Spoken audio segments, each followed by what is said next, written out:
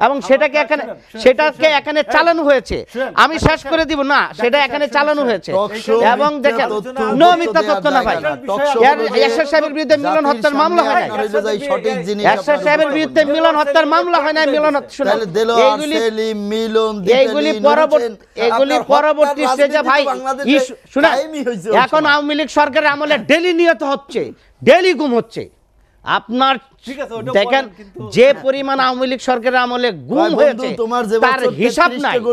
যে পরিমাণ হত্যা হয়েছে তার কোনো হিসাব নাই। এখন আওয়ামী এরশাদ BNP সাহেবের সময় নয় বছরের শাসন আমলে একজন দুইজন হত্যা হয়েছে যেগুলি পরে ওনার উপর চাপানো হয়েছে সেগুলি নিয়ে অনেক আলোচনা হয়। এখন তো হিসাব দিতে পারবেন না হত্যার। তাই নাকি? ডক্টর মুস্তাফিজুর রহমান আকাশ আমরা যেটি নিয়ে আলোচনা করছিলাম বিশেষ করে নির্বাচন নির্বাচন গ্রহণযোগ্য নির্বাচন বা গ্রহণযোগ্য অংশগ্রহণমূলক যে নির্বাচনের কথা বলা হচ্ছে আপনি কি এই নির্বাচন অনুষ্ঠানের ক্ষেত্রে কোনো প্রতিবন্ধকতা দেখেন কি যে কোন বিষয়গুলো আসলে বাধা হয়ে দাঁড়াচ্ছে সামনে? আপনাকে ধন্যবাদ। দেখুন নির্বাচনের তো কোনো অবস্থাই নেই বর্তমানে। যে অবস্থায় বর্তমানে নির্বাচন হচ্ছে পুরাটাই তো বাধা। এবং এই বাধা দূর করতে গেলে অলরেডি যে প্রতিদিনই আলোচনা হচ্ছে যে শুধু সরকার ছাড়া বাকি সব দল এখন বর্তমানে চাচ্ছে যে একটা সংস্কার বা আমল পরিবর্তন।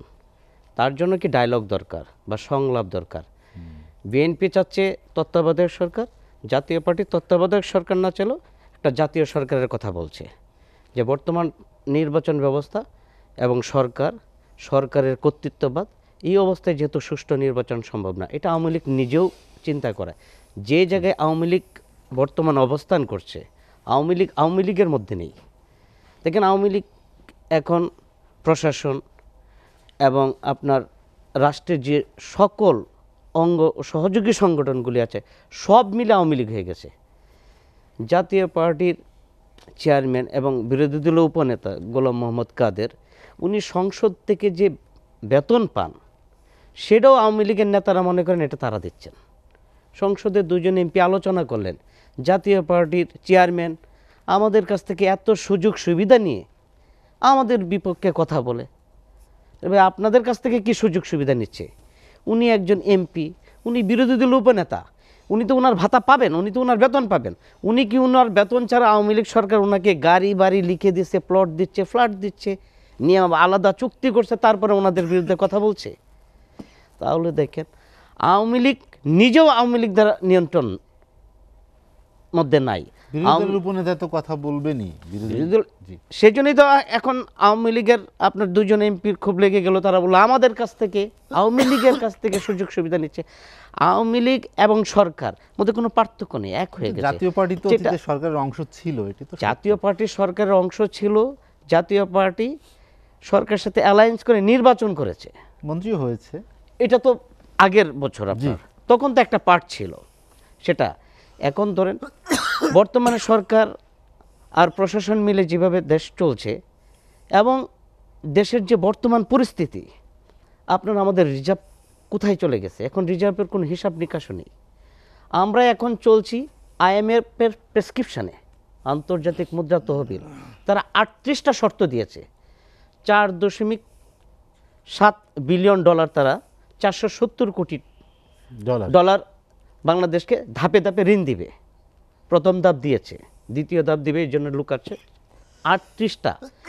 এবং দেখেন এই আইএমএফের প্রেসক্রিপশনে বাংলার মানুষের উপর সরকারের কি পরিমাণ জুলুম শুরু হয়েছে, সারের দাম বৃদ্ধি করা হলো, গ্যাসের দাম বৃদ্ধি করা হলো, বিদ্যুতের দাম বৃদ্ধি করা হলো, কর ছাড় কমানো হলো, এবং আপনার বাংলাদেশের কর বাড়ানো হলো। তবে এলপিজির দাম পঁচাত্তর টাকা কমিয়েছে। না হ্যাঁ কর বাড়ানো হলো। যতগুলি প্রেসক্রিপশন আপনার আইএমএফ দিচ্ছে সেইগুলি সরকার বাস্তবায়ন করতে গিয়ে মানুষের এখন নাবিশ্বাস সেই জন্য দ্রব্যমূল্য করলে আরও ঊর্ধ্বগতি হচ্ছে। এই অবস্থা থেকে তো আমাদেরকে বেরিয়ে আসতে হবে। এই অবস্থা থেকে যদি আমরা বেরিয়ে আসি তাহলে নির্বাচনই একমাত্র পন্থা যেখানে সরকার পরিবর্তন হবে। অথবা এই সরকারকে যদি জনগণ চায় এই সরকার থাকবে। তবে আওয়ামী লীগ যেখানে পৌঁছাইছে, আওয়ামী লীগ নিজেও এখন ভোটের রাজনীতিতে বিশ্বাস করে না। জনগণ ভোট দিয়ে তাদেরকে আবার সরকার গঠন করবে, সেটাও তারা চিন্তা করে না। কারণ দুই হাজার চোদ্দ সালে, দুই হাজার আঠেরো সালে নির্বাচন পুরা ধ্বংস হয়ে গিয়েছে। আমি যেটা আগেও বলেছি যে মানুষ এই চিন্তাও করে না যে না, আওয়ামী লীগ বাদে বিএনপি যদি আসে, দেশ উদ্ধার হয়ে যাবে। নো বিএনপির শাসনও দেখেছে মানুষ। বিএনপির সময় কি পরিমাণ? চারবার ভালো চারবার দুর্নীতির চ্যাম্পিয়ন হয়েছে। জাতীয় পার্টির নয় বছর শাসন আমল ছিল বাংলাদেশের শ্রেষ্ঠ সময়। বিএনপির সময় বাংলাদেশ চারবার চ্যাম্পিয়ন হয়েছে দুর্নীতিতে। আওয়ামী লীগের সময় বাংলাদেশ একবার চ্যাম্পিয়ন হয়েছে। তাহলে এই যে বর্তমানে আপনার ধরেন উনি ভাই বলছিল যে ডক্টর মিলন এটা তো একটা শ্রোতা। এরশাদ সাহেবের সময় কয়টা খুন হয়েছে? তাকে একটা সবসময় একটা টক শ্রোতা একটা মিলন হত্যা মিলন হত্যা।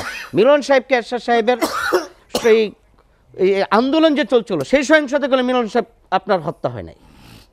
উনি যাচ্ছিল, সেখান থেকে অন্যজনের গুলিতে উনি হত্যা নিহত হয়েছেন। এবং সেটাকে এখানে সেটাকে এখানে চালানো হয়েছে। আমি শেষ করে দিব না সেটা এখানে চালানো হয়েছে। এবং দেখেন নো মিথ্যা তথ্য না ভাই। না। এরশাদ সাহেবের বিরুদ্ধে মিলন হত্যার মামলা হয় নাই? আপনার এই সঠিক জিনিস এরশাদ সাহেবের বিরুদ্ধে মিলন হত্যার মামলা হয় নাই মিলন হত্যা- শুনেন, এইগুলি সেলিম, মিলন, এইগুলি পরবর্তী এগুলি পরবর্তী স্টেজে ভাই ওই এখন আওয়ামী লীগ সরকারের আমলে ডেলি নিহত হচ্ছে ডেলি গুম হচ্ছে। আপনার দেখেন যে পরিমাণ আওয়ামী লীগ সরকারের আমলে গুম হয়েছে তার হিসাব নাই। যে পরিমাণ হত্যা হয়েছে তার কোনো হিসাব নাই।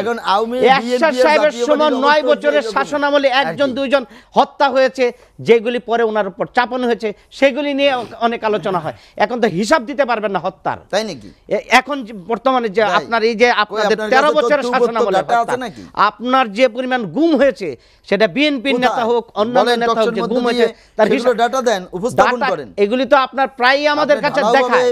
ইভেন কি আপনার প্রশাসনকে বিরুদ্ধে বললে তো হবে না। প্রশাসনকে আপনার এমনভাবে তাদের বিরুদ্ধে লাগানো হয়েছে যারা গুম হয়েছে হ্যাঁ যারা খুন হয়েছে তারা যাতে ভয় ভীতি দেখানোর কারণে তারা এখন আর কথাও বলতে পারে না। বিএনপির স্থায়ী কমিটির সদস্য এখন পর্যন্ত ইন্ডিয়াতে। উনি কি হাওয়ার পরে চলে গেছে ইন্ডিয়াতে?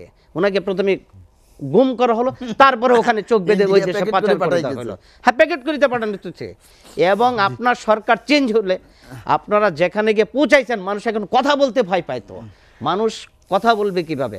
কারণ মানুষ তো এখন আপনার বাজার করে চলতে পারছে না। আমরা একটা বিরতি নেব। মানুষের যে পরিমাণ মানুষ বেকার হচ্ছে দেখেন এখন চাকরির বয়স্কটা পঁয়ত্রিশ অবশ্যই করা উচিত বাংলাদেশে। কারণ বাংলাদেশে যে পরিমাণ বেকার সংখ্যা বাড়ছে উন্নত দেশগুলিতে পঁয়ত্রিশ চল্লিশ পঁয়তাল্লিশ ইভেন কি উনষাট পর্যন্ত মানুষদেরকে চাকরি দেওয়া হয় যাতে বেকার সমস্যা কমে। বাংলাদেশে আপনার পড়াশোনা শেষ করে আমি ডাক্তার বলছি।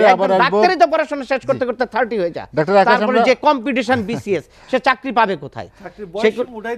আমরা আর একটা বিরতি নেই ভাবতে হবে ধাপে ধাপে প্রয়োজনে তাই করতে হবে।